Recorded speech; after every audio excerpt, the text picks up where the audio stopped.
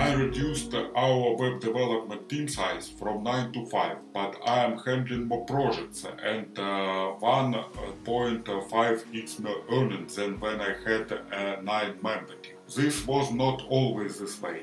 Earlier, for every project I used to struggle with bug in front-end code, slow application speed, uh, last minute uh, fixes in the production. Uh, one day I came across an ad by Hope UI who were offering ready-to-use front-end templates. I had tried such solutions uh, in the past, so was skeptical, but after a week turns out uh, that is the best decision I made. These templates help you speed up your front-end process, so you don't have to go through the boring work of starting from scratch. They are fully customizable and uh, support 8 uh, plus technology. The best part I like, uh, which you will also love, is unlimited projects and unlimited life and has a community of uh, 10k plus. Come join the future of admin UI.